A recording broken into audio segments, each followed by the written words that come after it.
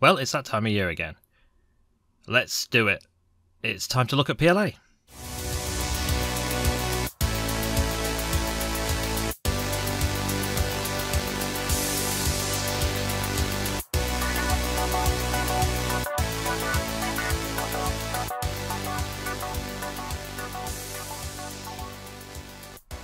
Did you like that? State of PLA. PLA play.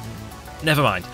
So things have changed since this time last year, quite a lot actually. There's a lot of new manufacturers and some old ones have disappeared. Um, I think we all know why things have changed more this last year than, than normally, but let's move on. One thing I want to say up front though is that things seem to have improved a lot. This time last year there were a lot more filaments that were poor quality. Or perhaps I've just been lucky. None of the filaments I'm about to cover are unprintable. Well, I mean, maybe one, but that said, some stand head and shoulders above others for final quality and finish, and some of them are just really good value. I'm going to add a disclaimer here to say that this is something I'm, I'm avoiding top 10ing here because I'm not arrogant enough to think that I can judge filament, and nor am I able to try nearly all the types, colours, and brands available. It's important to know that this is just my findings. I hope you find them useful. But yeah, we're, we're not doing top 10. Why would we? I hate top 10s. But let's get going.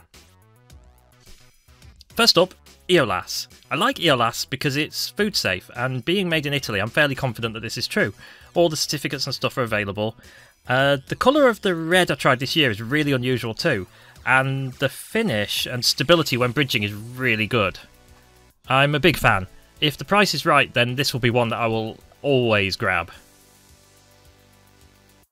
Next is Eryone. This isn't a new brand, in fact it was the first filament I ever had about maybe three years ago, but they seem a lot more common now when you search. I guess everyone likes it. Sorry, I'll get my coat. It's become my new workhorse based solely on the price. Uh, it prints fine, there's no issues. It's never caused a blockage that I can recall over maybe five reels and various colours. It's definitely one for general purpose printing. If it's on offer, especially below about £18, then grab some.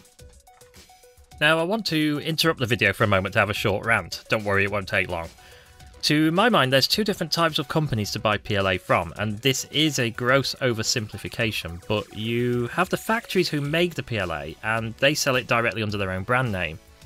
And then you have the second way, which is the, factories that just sell generic PLA, which is made in a unknown factory and it just gets rebranded. The thing I've noticed though is that when a generic brand name sells PLA, sometimes, but not always, it can be a total mix and a lot more risky uh, to buy from that brand. My advice is either to buy a direct brand name, which you know is a factory name, uh, which you can still buy from another reseller, uh, or if you buy a rebadge name, just make sure it's one you can trust that you've used a lot. Like I'll mention one later. Um, you can buy this either. I just thought it was important to draw the distinction here because it seems like most PLA filaments fall into one or other category. Now, Eono, this is the case in point. This is an Amazon owned brand, although I can't say I understand how the, the branding works here. But the filament is very inconsistent, and I would guess it's because the manufacturers are different. I've had a black filament from Eono, um, which blocked the nozzle almost every time. It was a year ago, uh, so it's not available now, but I did have to throw that one away. It's the only real filament I've had to just chuck out. But what is available now under Eono brand, it, I find it still varies a lot. For example, the white PLA Plus you can see here, I'm just not impressed with. I wouldn't recommend it. The finish is not is not satisfactory for me, especially considering it's a PLA Plus, you expect it to be better, and it's not.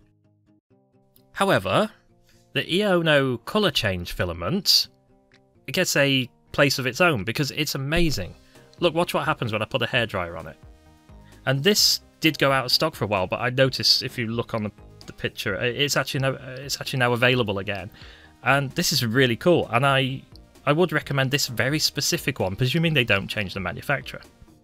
I think this might be made by CC3D, but I couldn't I couldn't back that up. Um, this is an EV that I printed. Look how good quality that is, though. I mean, you couldn't fault that at all.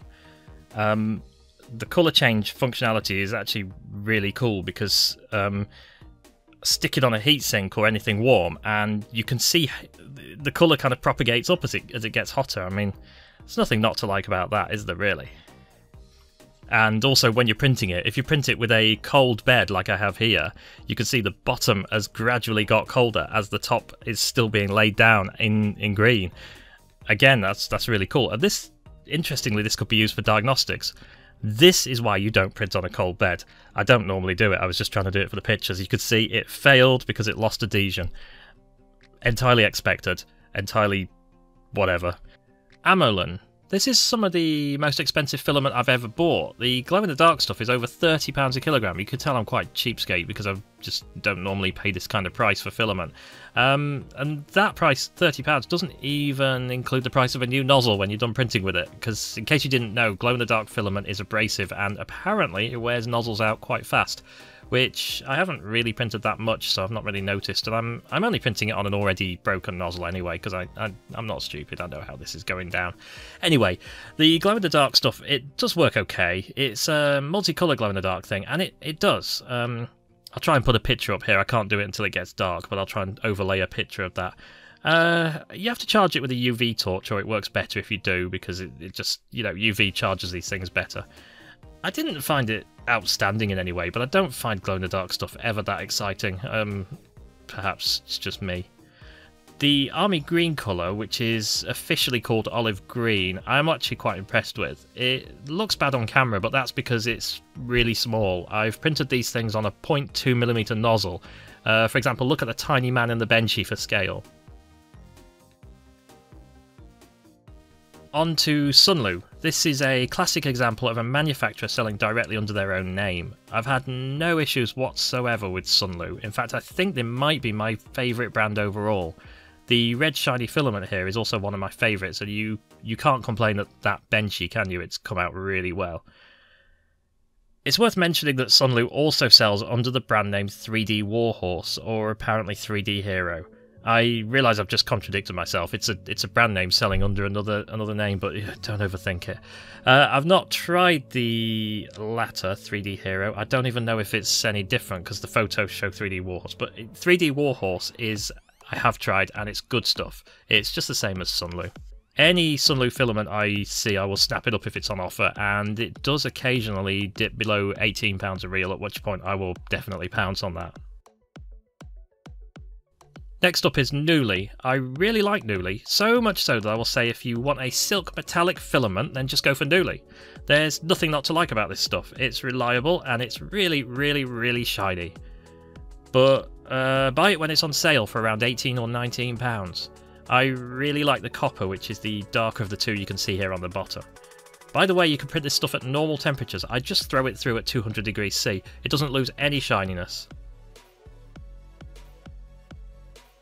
Finally, we're on to my old workhorse technology outlet. I've been using this since I started out 3D printing, and sadly, it's become a lot less available, uh, at least on Amazon anyway. It's still out there though, and I'd recommend keeping it on your watch list if the price becomes acceptable. You can buy it directly from their website too.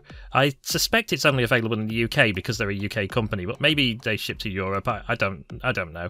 It's a reseller, but the quality has been very consistent for me, and the price is generally right. I've paid as low as £15 a reel for this stuff, which is absolute bargain. I must have printed tens of reels of various colours. That said, I think it might be the end of the line for me, mainly with, with this brand, unless it comes back to more available and the price comes back down to what it was. Uh, for the time being, I'm just using Eryone from now on. We'll see how that goes. Now I have some bonus content, don't click away yet. I've got two pieces of advice.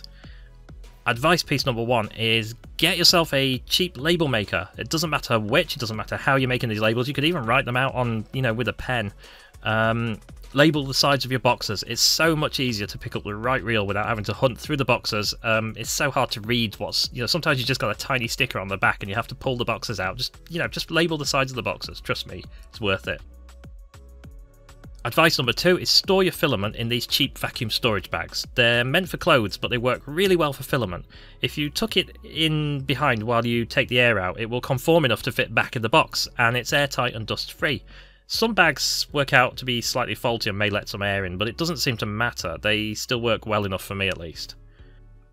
There's now starting to be some of these made specifically for 3D filament too. Um, I'll review them later. I've got some on the way. I don't know what the price is like, whether they're more expensive or not. But I did just want to point out that I thought of this first. I have been doing this for two years. I should have patented it, but whatever. Anyway, that's your lot. That's the end of the video. Thank you for sticking around this far. And remember to subscribe. Um, that's it. Bye.